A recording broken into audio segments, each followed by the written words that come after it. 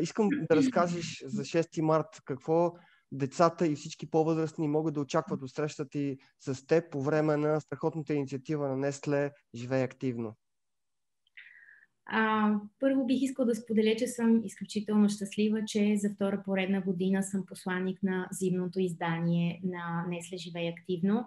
А, тази година аз ще се включа в а, а, презентация и активност, която е свързана с планинско ориентиране и ще бъде проведена съвместно с местния клуб по планинско ориентиране.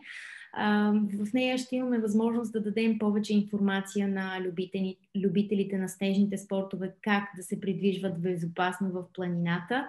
А след това планираме и активност, в която ще се включат спортни клубове от Пампорово, Чепеларе и София, в която пък вече нашите бъдещи младежи, таланти в сноуборда ще имат възможност да покажат своите умения и да обменят опит с деца, които може би биха искали да тръгнат по този път.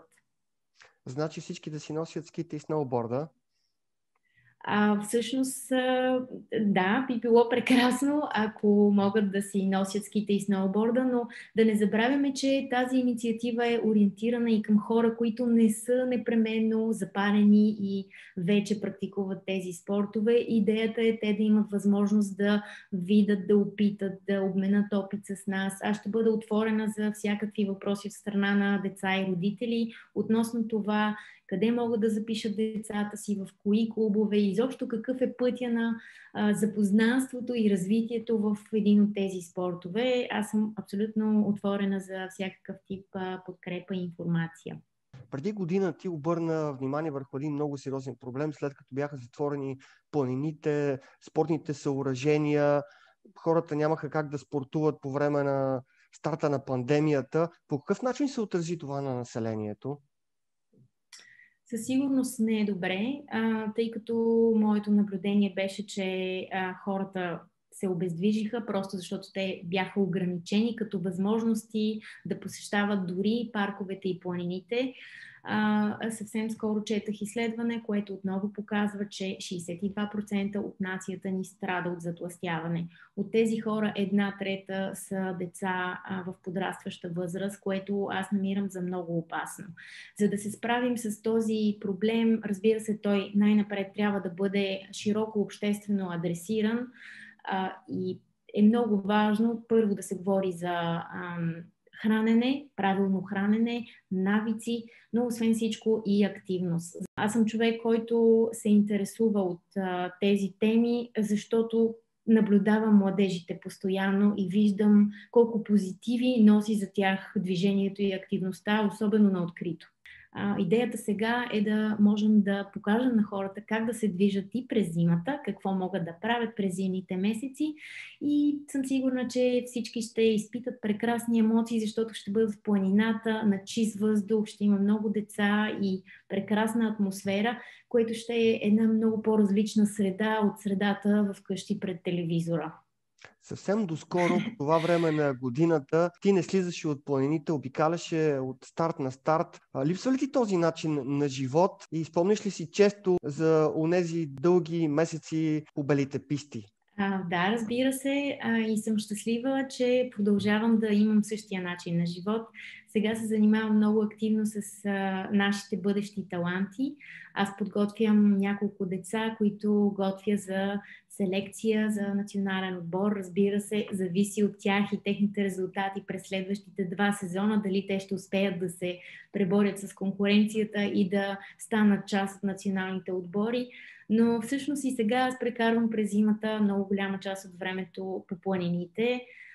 Състезанията ми липсват, но всъщност аз пак участвам в състезания, макар и, макар и индиректно от другата страна, вече като треньор и всъщност това, което мога да споделя е, че емоциите, които победите на моите деца ми носят са някак много-много по-силни, отколкото тези, които аз съм имала преди години. А кое е по-трудно и сега поставяш ли се в ролята на баща ти, който дълги години се грижеше и ти помагаше на теб? Кое е по-трудно, да си състезател или да си треньор? Със сигурност работата на треньора е много, много трудна, защото треньора трябва да мисли за много неща, а състезателя трябва да бъде концентриран само единствено върху своето каране и своето чист, чисто спортно-техническа подготовка. Както знаете, в България е малко по-трудно, както в всяко нещо. Наистина да развиваш професионален спорт тук си е предизвикателство, въпреки че и курортите ни правят каквото им е по силите, за да, за да ни подкрепят. Просто тези спортове са доста скъпи, за да се развиват децата на професионално ниво и наистина пътя е доста дълъг. От опита ти с младите таланти, виждаш ли като потенциал новите Сани Жекове и Радислав Янков? Надявам се тези деца, с които работим в момента, да ни надминат по успехи някой ден. Това ще бъде най-хубавото и най-смисленото, което може да се случи за българския спорт. Има една много така хубава българска поговорка. Наистина от всяко дъво свирка не става. Не всяко дете притежава всичкия талант, който му е необходим, за да мине през трудностите, които са усеяни по пътя на професионалния спорт. Но с радост мога да споделя, че а, сред нашите деца има такива и те от много рана детска възраст полагат а, много усилия, за да могат да се развиват според иерархията и да, така, да постигат това, което е необходимо за нивото, на което са. Ти загадна за трудностите. Четири олимпийски цикъла, четири старта на олимпийски игри, безброй стартове на световни купи. Наясно ли са хората колко жертви си направила в името на това да представяш България на тези големи състезания? Аз никога не съм искала да влизам в ролята на жертва. А, просто, а, тъй като професията ми е била малко по, а, как да кажа, а, обществено представена, хората се ставали свидетел на моите възходи и падения.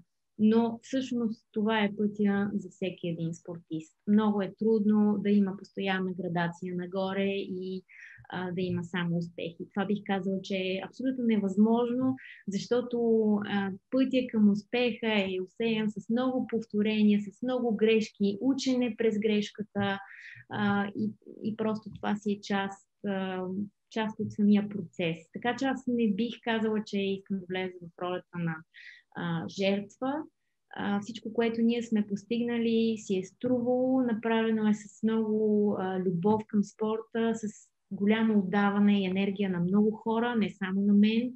И единствено мога да съм благодарна за тази възможност, която съм имала, с течението на обстоятелствата и всички тези хора, освен семейството ми, които а, по време на процеса са се включили с а, различен тип подкрепа. Цяла България преживя с теб онзи невероятен драматичен финал в Сочи през 2014 година. Кога за последен път го гледа отново и това ли беше момента в твоята кариера, който може да се определи като най-ключов, най- то върховен не може да се каже заради това, което се случи, но все пак това ли беше със сигурност всеки един спортист си мечтае за а, световния златен медал и олимпийския златен медал. А, знам, че много българи са фокусирани върху онзи момент, в който аз можех да имам а, бронзов медал от Олимпиада, но а, имаше сблъсък и не го спечелих. За мен тази, тази случка беше просто част от моя път и всъщност съм много благодарна, че се е случило точно така, защото може би ако бях взела бронзов медал, България щеше много да си повярва, че ние сме наистина на върха на пирамидата, Истината е, че имаме първо много още да учим, има много неща, които трябва да се променят в нашата система на спорта и са необходими много-много повече средства, специалисти, много по-широк подбор на таланти, за да можем ние да имаме успехи на бъдещи големи състезания от тук нататък. Аз съм абсолютно наясна с това и го казвам с най-добри чувства. Просто е хубаво да знаем къде се намираме. си реалист, последно нещо искам да те питам, нещо малко по-житейско. Как преминава един ден на Сани Жекова в момента?